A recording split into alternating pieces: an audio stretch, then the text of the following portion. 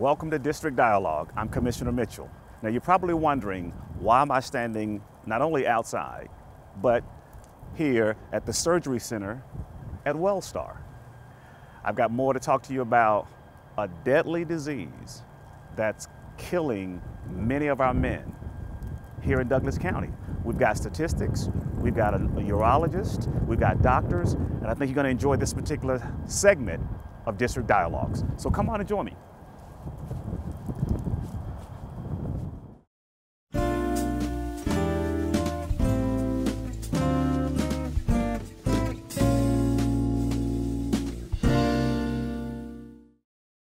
Welcome to District Dialogue. I'm Commissioner Henry Mitchell of District 1.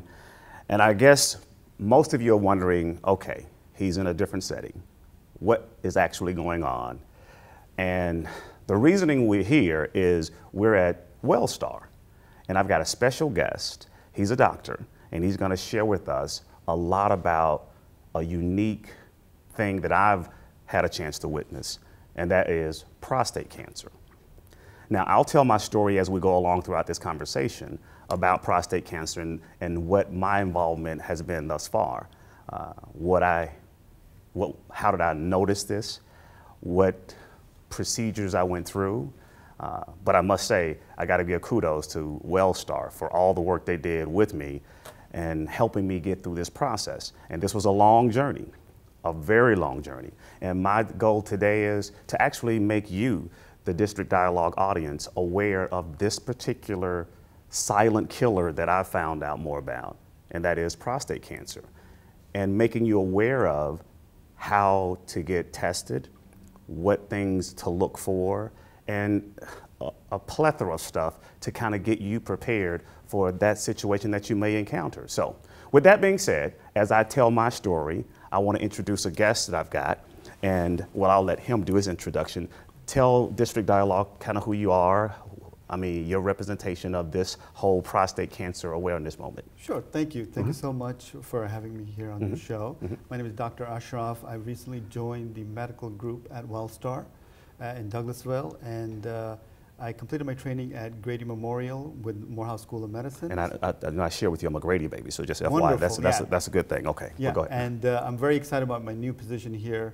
uh, taking care of, of uh, patients here in Douglasville.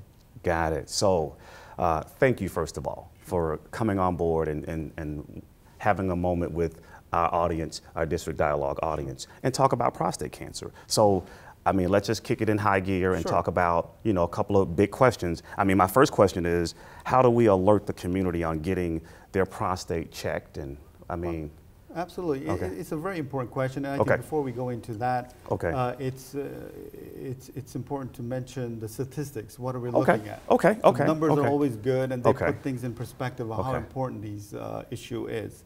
Uh, for example, in 2018, there were about 165,000 new cases of prostate cancer in the United States. Okay. And of those, there were about 30,000 people who died from prostate cancer. Wow. That's a huge number. Wow. And that shouldn't be the case with the, the screening test that we have. Uh, we were able to diagnose it earlier, and that, that doesn't need to happen. And that was a case in point with me, though. I had okay. an opportunity to kind of go through it, and in my earlier years, uh, it was more of the blood test mm -hmm. that caught it versus the anal testing and all the other good stuff. But okay. that's a that's a large number, though. That is that is a huge number, and uh you you bring up a very valuable point. Okay. Um, well, if you look at the patients or individuals who are uh, uh, vulnerable or at risk for prostate cancer, okay. you have your adult males, okay. usually over 40. Okay. And these individuals are pretty much set in their ways, and mm -hmm. having a digital rectal exam is not on top of their priority. I know, see, I was ready to run a marathon. Okay. And, and when, when it all of a sudden came my way, mm -hmm. which it was probably already there, but when, I, when, when they made me, uh, made it aware that you have prostate cancer, I, I, I, didn't have any true symptoms. I wasn't hurting. I wasn't limping. Right. Uh, didn't have any urine, the blood in my urine or anything. Absolutely. So you're like very a typical case of okay. early on okay. Uh, prostate cancer uh, manifestations. So you okay. would have you would not have any symptoms. Not a one. Yeah. So so you were lucky and fortunate enough to have a provider or go to a provider and have this done with the blood test mm -hmm. and uh, which was further investigated with urology and, and yes, yes, biopsy and Biopsies, everything else, yep. and, and realize that oh, okay, this exists. But give us some more statistics. I mean, yeah, uh, absolutely. Uh, okay. uh, some of the other things that are uh, interesting about prostate cancer mm -hmm. is one out of every nine will be diagnosed males will be diagnosed with ca uh, prostate cancer in their lifetime. Wow. Which is which is a huge number. -huh. Also, you will see about six cases in every ten uh, males will be diagnosed at the age of 65 or older. Got it. Okay, uh, and as well as um, individuals from 57 to, uh, I'm sorry, uh, and the average age of diagnosis is around 66. Okay. That, okay. That's the average age that uh, the cancer gets diagnosed. And, and, and, what are some of the options that you have in the whole prostate, uh, I guess, from surgery to and I don't know, this may not, maybe, maybe a question for you or not though, but is it surgery, from surgery to, um, uh, uh, what is it, chemo? Mm -hmm. um, I mean, there were several options uh, uh, uh, uh that, that you can kind of go through to kind of hopefully to remove or, or, or, take care of the situation that you may encounter. Right. What are what are those any of those processes that we can speak on? Well, yeah. So some of those things are, are really more involved. They're more of the urology specialty oh, questions. Got you, got you. But okay. but I think what we can touch upon okay. and, and, I think give more information to the audience is.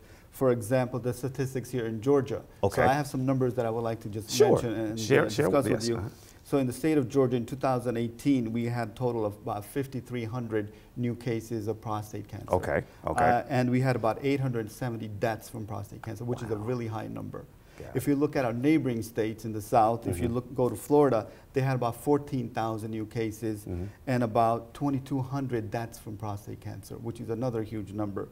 Uh, just quickly going to North Carolina, they had about 5,500 wow. with about 9,000, uh, 900 uh, deaths from, from uh, prostate cancer. Mm -hmm. South Carolina had about 3,000 cases, new cases with 500 deaths. Mm -hmm. And uh, Tennessee and Louisiana, Tennessee was about 2,700 with 6,000 deaths. Wow. And Louisiana with 2,600 and 400 deaths. Again, these are big numbers which can definitely be controlled if we do uh, proper community outreach and screen. Right. And screening. And, and, and uh, most of this information, you, are pulling this from the American Cancer Society? That's it. That's okay. the 2018 American uh, Cancer Society web, website. Yep. Got it, got yep. it. Well, well, interesting. So, so with that, um, what's, what, what, what else do we need to share with the, with the general population, the general public about this, this bug, prostate cancer? I right. mean, I think one of the things that's very important is to make public awareness. Okay. Right, to have some sort of awareness campaign. Mm -hmm. Another thing is that we could definitely uh, look into free screening. Mm -hmm. Okay, that's that's going to be a huge part mm -hmm. of trying to get those new cases and, and, and uh, making people aware that they have pro prostate cancers. Okay. And uh, other thing is testimonials, similar to you, what you're doing. This right. is a huge part of this individuals who have gone through this whole process, like mm -hmm. you, you, can attest to yourself, mm -hmm. are very uh, key uh, points and key, key aspects of mm -hmm. this whole uh, community awareness and outreach programs. Mm-hmm. And you, uh, people like you or individuals like you can really bring this uh, story to life. Right. You have right. a personal connection to it. Yes. And uh, we need more individuals like you who can come forward. And mm-hmm. sometimes this is not the best thing. Remember, mm-hmm. society has stigmatized cancer and people do not kind of want others to know that they have cancers, and, and I want right, to applaud right. you to, to kind of do that, and that's, that's a great initiative that you're taking. As I didn't know, had no idea about it outside of my physician just helping me through this whole process to make me even aware that you might want to go get tested. What, what are the signs? What, what should you look for? Right. So, How? like for example, for you, you, you had no symptoms of, of that, that kind of point to uh, having prostate cancer. But some of the major things we'll just touch upon would be, let's say, for example, if you have any blood in the urine. Okay. That's that's something that's concerning. Mm. Let's say you have blood in the semen. Okay. That's another uh, sign that is concerning. Uh, another thing is if you have a slow stream, your urine stream is mm -hmm. all of a mm-hmm. sudden decreasing, or you're retaining urine. Those are all signs that point towards issues with your prostate. If you had uh, prostate problems before and now they're getting worse, are, are additional uh, risk factors or mm -hmm. sign, concerning signs. And, and, there are several stages. I mean, um, I'll just say from one to, to four or four, five yeah. or what. So, so right. The, so the extreme is four or five. I mean, or, or yeah. So again, th those are uh, I want, would have left that for the The urologist. The urology. I got it. I got you. Okay, understood. Understood. I, I, okay, I, will stay away from that. we'll, we'll, we'll, leave that question for, for the next guy. So, but so um, uh, we talked about you know some of the signs for what are the functionalities or anything that, that we can we can talk from that perspective? Right. So so just to look at the prostate organ itself, okay. uh, to see where it's situated. Mm -hmm. It's uh, it's it's a term that was uh, it's a Greek term that mm -hmm. means something that is placed in front. So it's actually in front of the bladder. Mm -hmm. All right. And its function is to kind of provide this fluid for the passage of the semen. Right. Okay, right. And, and that's what its main purpose is to do. Mm -hmm. And uh, what happens in the case of prostate cancer is mm -hmm. that you have these cells that are, are dividing uh, normally, but they're out of control. Got it.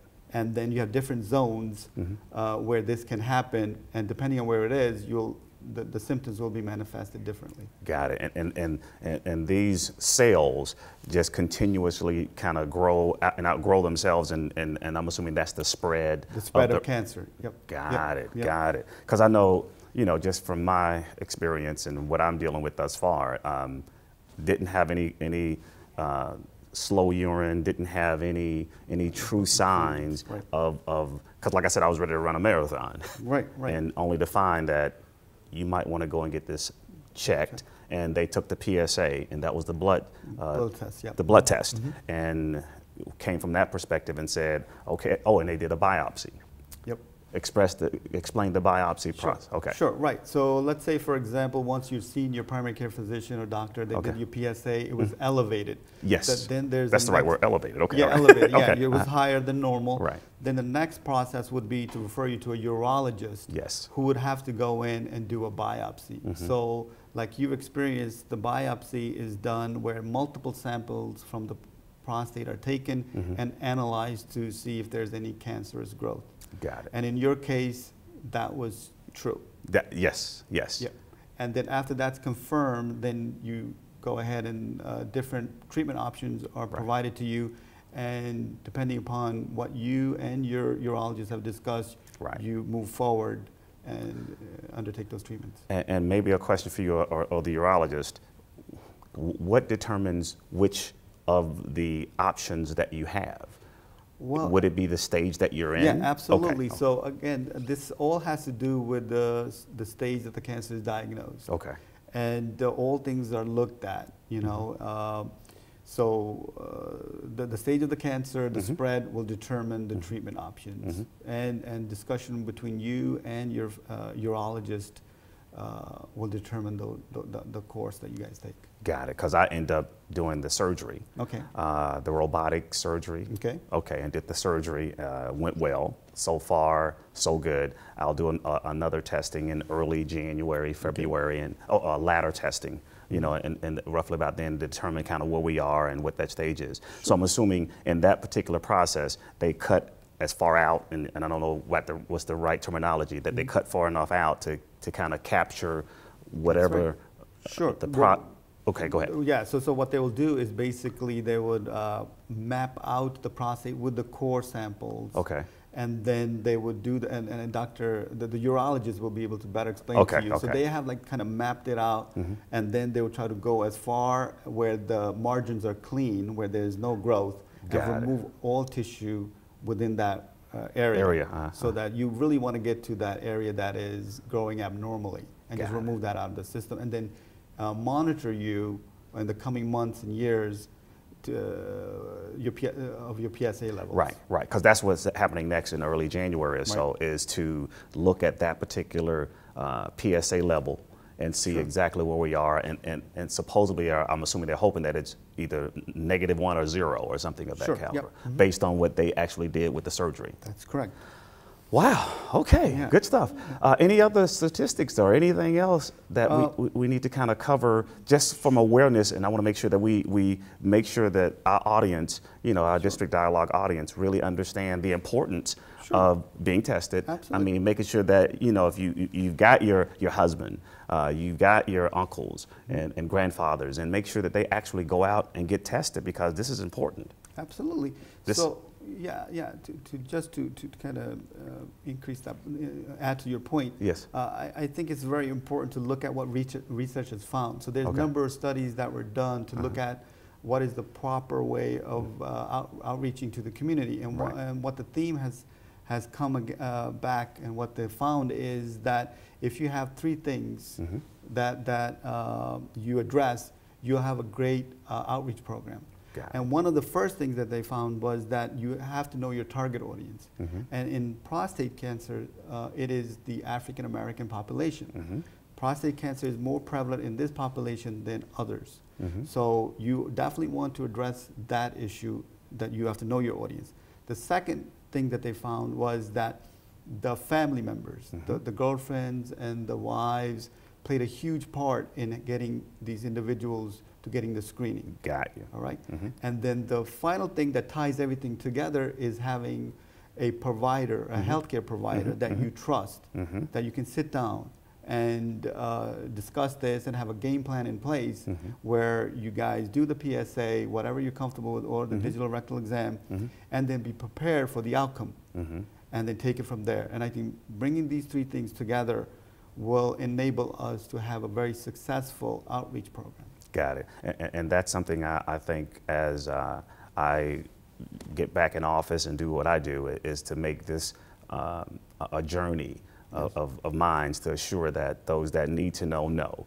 Um, right. Because I feel like if I can if I can reach out and capture at least one somebody who takes the test, yeah. who actually get out and, and do the right thing, as I would call, and hopefully, hopefully help one somebody will be a, a massive of numbers will, will multiply and help the community by being aware of this particular, uh, as I've known it as the silent killer of, of men. Yeah, absolutely. So. I think this is a great initiative, this is a great endeavor, uh -huh. but always remember that with any um, uh, challenge that you're facing, mm -hmm. uh, it's never a sprint to the final result. We're right. not going to sprint and you're get right. everybody you're right. screened. Mm -hmm. It's more of a marathon. We're going to just pace ourselves. Yeah. But at the end of the day, we just have to remember that uh, we are human beings. Mm -hmm. and, the, and, the, target audience for uh, prostate cancer mm-hmm. are those individuals who really are set in their ways. Mm-hmm. And um, the goal here is going to be uh, to identify these people. Mm -hmm. They're, they're going to be your uh, policemen, they're going to be your firefighters, mm -hmm. they're going to be your uh, athletes. Yes. But at the end of the day, it's about getting screened. And we got to get the word out, yes. get the community involved, and uh, definitely we have the treatment. Got it. We have, uh, you know, medicine has advanced that the treatment is there.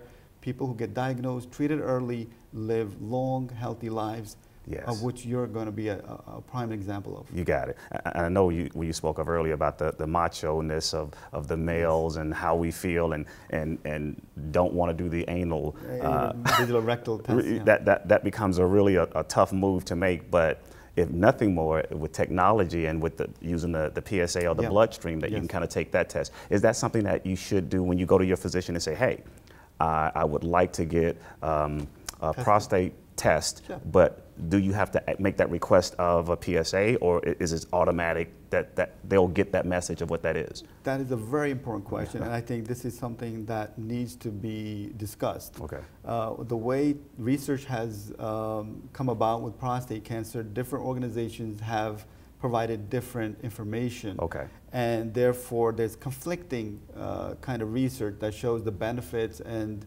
uh, the, the, risks of getting the PSA. Okay. So that's why healthcare providers have kind of taken a step back. Okay. Uh, what the, what needs to be done here is it's individually based. Mm -hmm. uh, you if you're if you're concerned enough mm -hmm. and you fall within that category of uh, above uh, 40 years old mm -hmm. and you're African American or you mm-hmm. have fa close family members with prostate cancers, mm-hmm. you're at higher risk. Got it. So if it's those individuals, I'll highly recommend them going to their healthcare providers, uh, discussing with them their concerns mm -hmm. and uh, asking for the PSA, mm -hmm. and then um, taking it from there. And mm -hmm. those individuals who don't belong to this category, it's, it's individually based. You know, it's up to them how concerned they are about prostate cancer. So, so on a closing note, so what, it, are there any things that WellStar, and I know you're newly on board with yes, WellStar, yes. are there any plans for WellStar to, to help orchestrate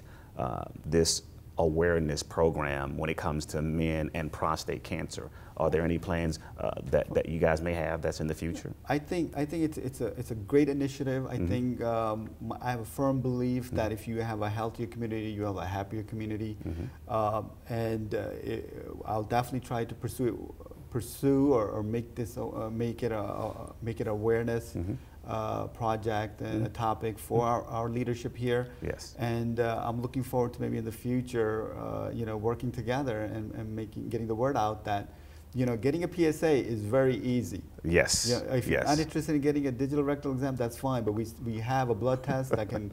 give us uh, a clue into what's yes. going on. Right. And you can get it every year and just get a surveillance and right. catch prostate cancer early because the treatments are there. Right. And once you're treated, you're able to live a long, healthy life. Like well, that's what I, am expecting. So, I mean, they got me now for another four years, but I know I got another 104 years that, yes, that's absolutely. forthcoming. So, absolutely. but listen, let me say thank you again, sure. and I appreciate you sharing uh, with the District Dialogue audience. Uh, are there any closing remarks that you would like to share with our audience? No, actually, I'm very uh, honored and privileged that I got the opportunity to come uh, on your show and uh-huh. discuss -huh. this. This is a, this is a very important uh, topic. Yes. And it's very easy to kind of get tested and, and, get the public aware aware of the, the situation. Yeah. Well, as you know, it's personal to me, yes. and, and, that's why I chose this particular topic. So again, thank you, and I appreciate you uh, being a part of District Dialogue.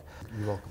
With that being said, I've got another guest that's going to come on, another urologist, as we spoke about earlier, that's going to share with you some of uh, the. Um, the, the, procedures and that you'll go through from uh, the biopsies to uh, you name it, even the surgery. And matter of fact, he'll be, he's the one who actually did my surgery. So stick around. There's more to come right here on District Dialogue.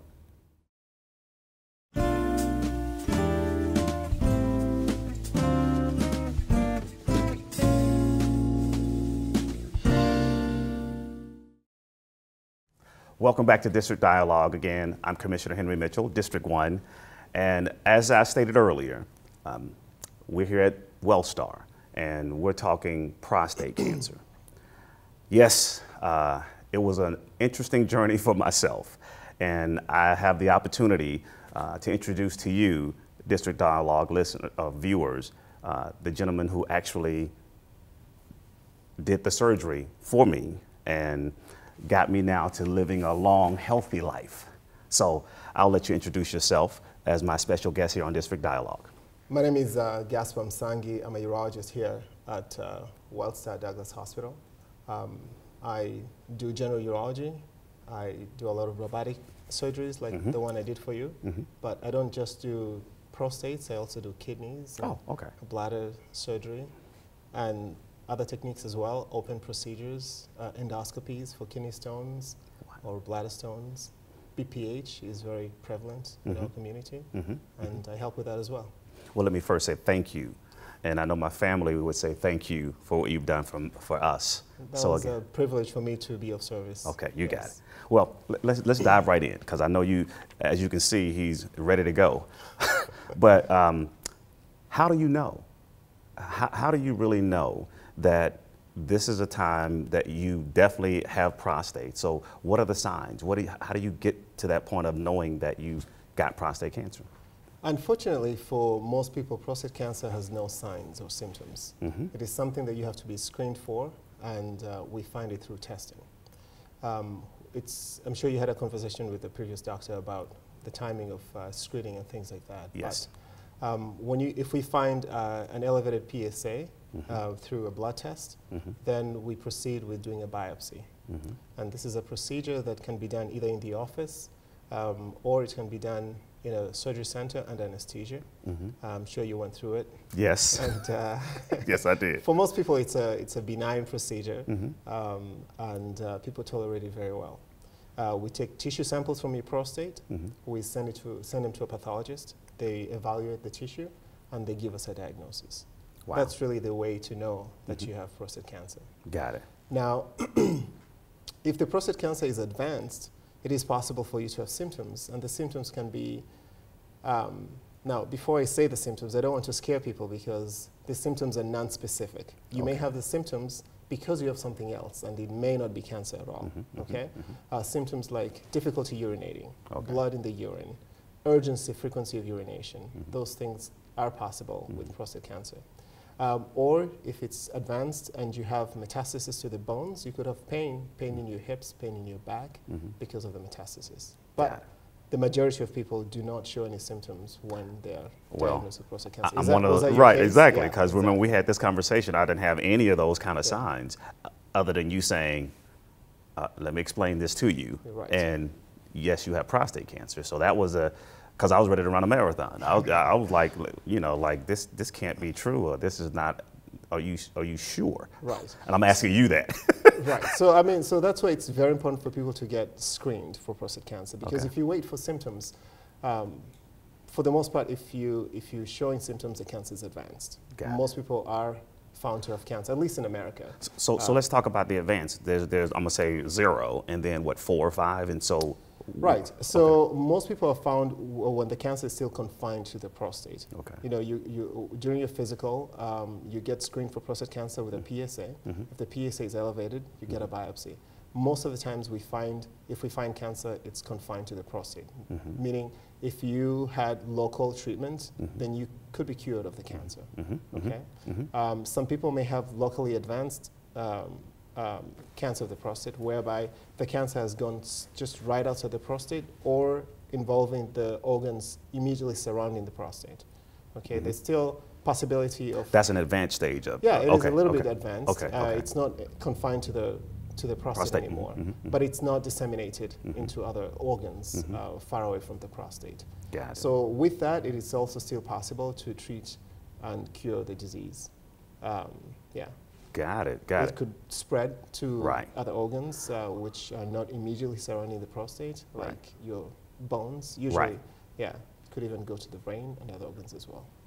So, uh, so, so the testing is important. It is um, important. Yes. And and the, I know going through it through my process and with my physician doing the anal, and that may not be the proper word for this testing we call it a digital rectal. A digital rectal. Okay, all right. So with that, yes. most men run away from that, but even then, she nor yourself could find anything from that because it was such an early stage. Correct. Because uh, there was no lumps and bumps and there was Correct. no roughness. And I mean, Correct. share that. So yes, when we do a digital rectal exam, what okay. we're looking for is, first of all, the size of the prostate. We sweep our finger to make sure that the surface of the prostate feels smooth. Okay. It's not lumpy bumpy. Mm -hmm. uh, it's not irregular, one side being larger than the other. Mm -hmm. It's not too firm. Mm -hmm. You know, things that will cue us to know that there's an ab abnormality going on. Mm-hmm. But mm-hmm. like you said, you know, for a lot of people, a digital rectal exam is normal. Mm-hmm. It's negative, but they may still have cancer.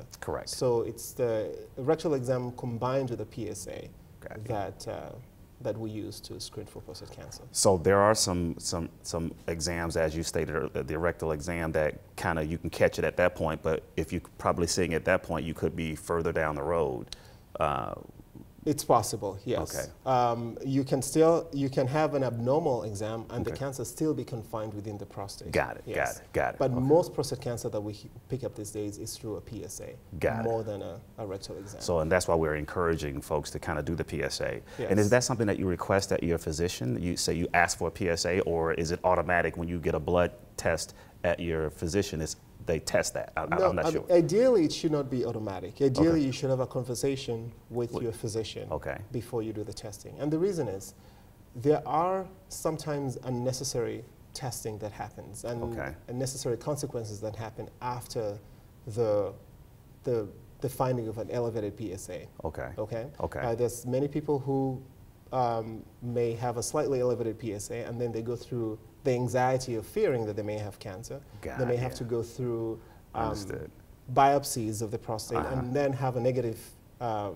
biopsy in the end. Okay. But they've gone through a procedure that may not have been necessary. Got so it. before you have the test, I think you should have a conversation with your physician saying Got that we recommend doing this, but these are the potential things that could come out of, out of this test. Got it. So you have your eyes wide open, mm-hmm. you're informed Understood. before you make Understood. the decision. Makes yes. sense. Makes sense. Let's talk about the surgery. Okay. Okay. So so share with uh, District Dialogue audience about the surgery itself? I know now that they got the robotics. Yes. I mean, not saying they don't do the other ways of just cutting and digging, but talk about the surgery side of it, though. Yeah. So the majority of uh, surgery done in America for prostate cancer is robotic. Oh, okay. Prostatectomy. Because we've advanced that much, I guess. Correct. Okay.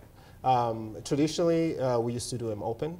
Okay. And um, the whole prostate is taken out. There was a little bit longer hospital stay. Mm-hmm. And, uh, but now with advancement in technology, we, mm-hmm. can, we can do very small incisions, like you know. Mm-hmm. Um, um, and you spend a night in the hospital mm-hmm. and uh, go home the next day with a catheter. You come back a few days later, um, maybe a week or mm-hmm. two weeks to have the catheter removed. Mm -hmm. um, I do not know how what your experience was like. Uh, Lord, don't, let's not people, talk about the catheter. Jesus, but for go most ahead. people, that's that's the most uncomfortable thing is oh, the catheter. yes. But uh, it's not really pain is not that big of, a, of an issue for right. a lot of people. Right. Everybody's different. Right. Uh, uh, but, but, don't talk about the catheter. The we'll, catheter we'll, talk about everything else and, but the catheter. And, uh, Be and because even with the catheter, and I don't mean to cut you off there, but even with the catheter with me, yes. it somehow my urine um, um, somehow got into the uh, blood got into the urine and yes. it clogged it up. Yes. Well, guess what? I had to come back and have the catheter removed and replaced. Yeah, that's rare. That's oh. uh, well, okay, thanks. I appreciate but it. Yes, uh, things like that do happen. Yeah. But uh, the surgery, um, you know, robotic surgery has uh, made things a lot better for patients. Okay. Um, it's made a lot of things better for surgeons as well. Okay. Um, it's easier for us to see uh, okay. with, okay. Uh, with robotics. Um, you get a 3D view of the anatomy. Okay. Um, it's very clear. You know exactly where you're cutting. You know what you're pulling. You know what you're holding. Traditionally, there was a lot of feeling because deep in the pelvis, mm -hmm. you can't really see. Okay. So there's a lot of feel. Mm -hmm. You know, Mm-hmm. you do by feel. -hmm. But now I can actually see, see it. Okay. Yeah. Okay. So it's easier to tease out and preserve nerves, which Mm-hmm. will help with continence and uh, and. Uh, um, erectile function after so, surgery. as I'll call it my tailbone, you may call it something totally different because I'm not, I don't have the medical terminology. So that's why when I'm sitting a lot, at that time, I, I couldn't sit a lot, which I'm still having difficulties with sitting. So I've got to get this cushion and everything else to sit down, and Yes. because of where the where the prostate was removed. Correct. Uh, the prostate is deep in your pelvis, and Okay. sometimes, you know, people who have not had surgery, if you have prostatitis, you have a discomfort between your legs. Um, and if you have surgery in the prostate, yes, you may have some discomfort with sitting, but usually that lessens over time. Yes, it does. I, Yeah. am getting better at it, but uh, you know, but as this this long journey has been one of those, you know, if I stand and sit, well, there's some time I couldn't stand because I feel like I'm, something is pulling down on me, or Yeah. I'm sitting too long and it starts to, to, to irritate me. Kind of a combination of them both. Yeah. Yeah. So yeah, different people have different symptoms after surgery, Mm-hmm. and um, these usually get better with time. Yes, yes, Yes. it's gotten a whole lot better. Well, good. A whole lot better. So it's, we're still early out of Femia surgery. I you know, when I know, I know. Take the big picture. So you're doing well, I think. Um, I, I, I, I, would say yes to that. That I'm doing well. Uh, so the robotic now is the is the kind of the technology side of, of how things are and kind of give you recovery time faster. So WellStar is offering this type of a surgery for those who have it Yes. or need it. or need- Yes. but what about for those who decide to take the um, the chemo side of it or the radiation side of it? I mean, So robotic surgery, uh, I mean, radical prostatectomy is not the only treatment option for Correct. Prostate cancer. Uh, you could have radiation therapy uh, to cure the disease. Um, that's done by radiation oncologists. Um, and uh, you go in, um, you have different sessions uh, Right. uh, whereby they irradiate the prostate. Um, I think it's an everyday session for about 30 days. yep, sounds about Um, right. Because it was it was brought to my attention about that. But go ahead. Yes. Yeah, some people choose uh, to have that because they don't want to have surgery. Um, uh, it may have less an effect on uh, incontinence and, uh, and erectile dysfunction afterwards. Mm-hmm. Uh, it's got its own side effects as well. Usually with radiation therapy, um, the negative effects may linger and become more evident as time goes out. Mm-hmm. You know, uh, especially for us urologists, we see uh, people who've had radiation therapy come back with irritative urinary symptoms Got it. urgency, frequency of urination, Mm-hmm. sometimes blood in the urine. And the blood in the urine can be very significant, you Mm-hmm. know, needing procedures. But uh, overall, uh, people do very well with uh, radiation therapy. Got it. So it is an option for cure. Uh, if you have uh, prostate cancer that is still uh, uh, contained, confined to the, okay. to the prostate, or even if it's a little bit locally advanced, you can still have radiation therapy, Got and it. it may be of benefit. Got it. Yeah. Okay, and, and I know we're going to wrap this up though, but which which option do you choose, or is based on you and kind of your vision as to what? Yeah. I mean, so this um, I usually have a conversation with my patients, mm-hmm. and I also recommend for them to see a radiation oncologist in the appropriate setting. You did. There's some. Check. That's right. There's some patients um, who, actually, for most patients with locally advanced cancer, I mm-hmm. will have them see a radiation oncologist so they can get education on both yes. treatment modalities. Mm-hmm. Uh, there's some people that radiation therapy may not be appropriate, mm-hmm. you know, if they have advanced prostate cancer. Mm-hmm. Um, then I send them to a medical oncology mm-hmm. uh, oncologist, and uh, they'll discuss the um, options then. But uh, um, it's a it's a shared decision making whereby I will advise my patients and I will tell them I'll talk to them about surgery. Mm-hmm. Some people already come in with the with the decision that I never want to to have surgery in my life and I'm not going to have it. Got it. And I respect that. So I send them to a radiation oncologist. Okay. So people okay, are open okay. to both options and my job is to But the better part of this educate. is to, to test and, and, and catch things like this early. Exactly. So you have the options. Exactly. Especially because prostate cancer, you may have prostate cancer and not have any symptoms. Oh, I didn't have one. Yeah. Yeah. So because I was trying to get you to come and go to do the marathon with me until you said, "Sit down, let me explain yeah, this to you." yeah. Hold wow. Yeah, yeah, yeah, yeah, yeah. So, but you're right. So uh, the better part is to definitely get the testing done. Yes. Uh, definitely, I would highly recommend that. Yes. Uh, to, to assure and, and, and consult with your physician. Yes. And kind of have that kind of dialogue. Yes. And now catching it early, hopefully that's what the this result in, and that way you can kind of have the options of all of this that you can Correct. possibly do, and it's your your choice. Because I know you said, said you said to me, well, Commissioner Mitchell, if you want, you can just kind of wait. It. Exactly. Not all prostate cancer has to be treated. You're exactly right. Yeah, okay. So that has to be a conversation with your physician because yeah. depending on the pathology mm -hmm. and your age mm -hmm. and mm-hmm. your medical mm -hmm. condition, mm-hmm. what other medical problems you have, right. and what your lifestyle is like and what right. your philosophy about your life is. Right. You know, there's some prostate cancers we can just watch. Right. Because the truth is, although we do diagnose a lot of prostate cancer, the majority of people who are diagnosed with prostate cancer will not die from it.